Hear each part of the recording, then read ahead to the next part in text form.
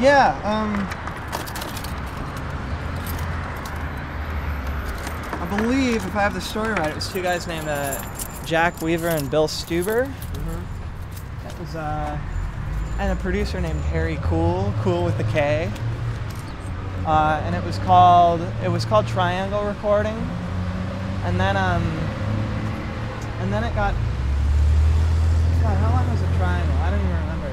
But uh, it's it's been through so many different owners. Like Chris Hanzsek owned it for a while, and Jack Endino did a bunch of stuff here, and um, you know, C did a bunch of stuff here way back, and uh, then I know that John Goodmanson and uh, Stuart Hallerman bought it in 1994, and it was John and Stu's for a long time, and and then we bought it from John in '99, I guess.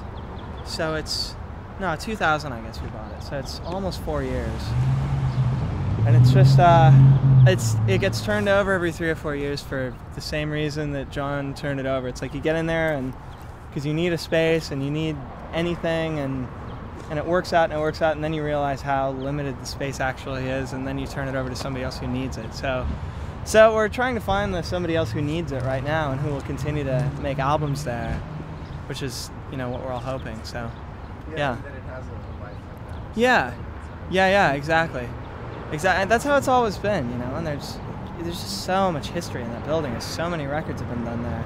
Real quick, Chris, what just what Death Cab stuff was done in there? Uh, uh, the whole photo album was done there, uh, tracked and mixed here at the Hall of Justice, and uh, about half of Transatlanticism was tracked here, and Transatlanticism was all mixed here except for one song.